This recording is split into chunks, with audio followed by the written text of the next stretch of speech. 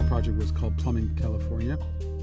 It was really a chance to go look at the ground zero of water eye to eye, where the water is such a key element to literally terraforming a desert into farmland and taking desert and turning it into one of the biggest cities in the world, Los Angeles.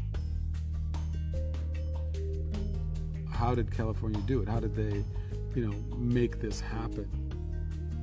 I realized that I had to somehow get up. I needed to get up to show what's happening to that landscape. I needed that well defined middle ground to begin to tell that story. I used helicopters, I used fixed planes, drove 4,000 miles with a bucket lift, you know, all across California, which gave me about a 50 foot elevation.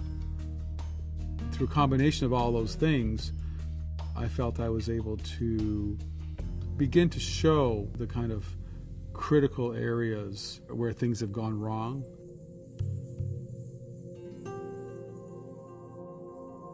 So, this is the Owens Lake, where the water was diverted for Los Angeles, leaving the lake to dry up, creating one of the most toxic lake beds the sandstorms in America.